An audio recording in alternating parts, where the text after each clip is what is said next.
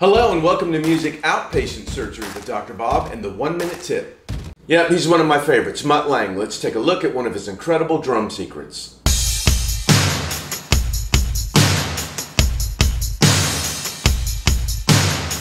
Pretty big drums, right? Let's make a Mutt Lange big. So I'm gonna say hey every time the snare drum hits. Hey! Now I'm going to do that 40 more times with different types of hey and different mic techniques. Let's go. Hey! Hey! Hey! Hey! Hey! Hey! All right, after some panning, some EQ and compression, let's see what we got.